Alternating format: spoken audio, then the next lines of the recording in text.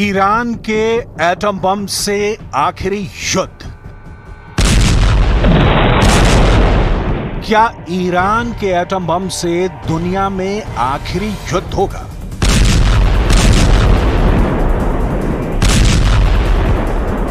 ये सवाल इसलिए उठ रहे हैं क्योंकि ईरान कुछ ऐसा करने जा रहा है जिसने इसराइल और अमेरिका को हैरान कर दिया है।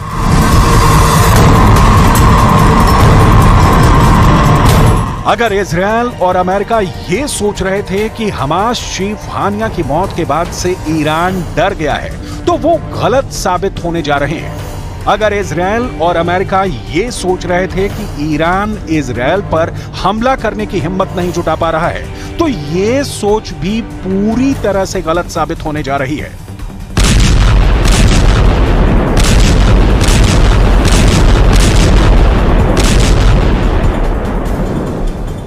ईरान, मिडल ईस्ट में परमाणु जंग करने जा रहा है और इसकी तस्दीक खुद संयुक्त राष्ट्र की अंतर्राष्ट्रीय परमाणु ऊर्जा एजेंसी, यानी आईएईए ने एक तरह से कर दी है।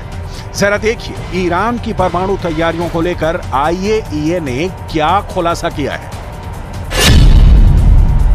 ईरान का परमाणु बम निशाना इसराइल आईएईए ने ईरान की तैयारियों को लेकर जो खुलासे किए हैं, वो सीधे सीधे इसराइल के वजूद के लिए खतरा साबित हो सकते हैं। आईएईए की तरफ़ से जो गोपनीय रिपोर्ट यूएन में भेजी गई है, वो हैरान करने वाली है। गोपनीय रिपोर्ट में दावा किया गया है कि ईरान ने अपने समृद्ध यूरेनियम भंडार को हथियार के लेवल के करीब तक बढ़ा लिया है। दावा किया गया है कि ईरान अपने परमाणु ठिकाने वरामेन और तुर्कोजाबाद में एटम बम बनाने के एकदम करीब पहुँच चुका है।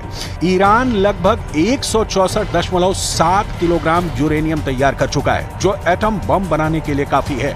ईरान ने 60 प्रतिशत शुद्धता तक संवर्धित यूरेनियम 90 फ़ीसदी के हथियार ग्रेड स्तर तक लगभग पहुँचा दिया है।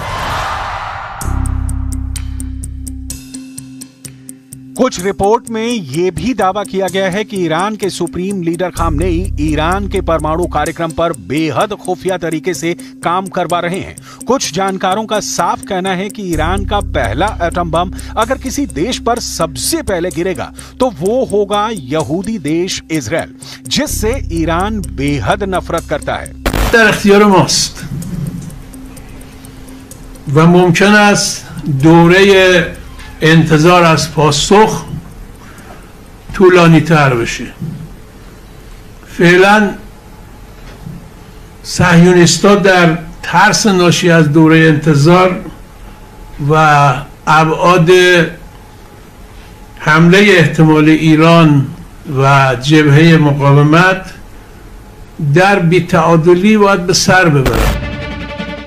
इधर जब से ईरान की एटमी ताकत का पता इसराइल और अमेरिका को लगा है, दोनों ने ही ईरान से मुकाबला करने के लिए युद्ध स्तर पर तैयारियाँ शुरू कर दी हैं। खबर है कि डिएगो गार्सिया आइलैंड से अमेरिकी सीक्रेट मिलिट्री बेस से ईरान पर बड़े हमले की तैयारी हो चुकी है दावा किया जा रहा है कि अमेरिका ने खतरनाक bomber B two nuclear stealth तैनात कर दिया है, ताकि इसराइल को ईरान के घातक हमलों से बचाया जा सके इस वक्त अमेरिका ने अपने नेवी के 30 फ़ीसदी वॉरशिप भी मिडिल ईस्ट में तैनात कर दिए हैं। अब हम दिखाते हैं कि इसराइल के हमलों से बचाने के लिए अमेरिका ने क्या किया है।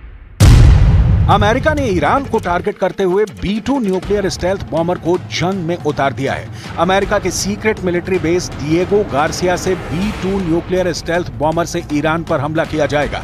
दावा किया जा रहा है कि बी टू बॉम्बर 4,842 किलोमीटर की दूरी तय करके ईरान पर घातक बम और मिसाइलों से हमला करेगा।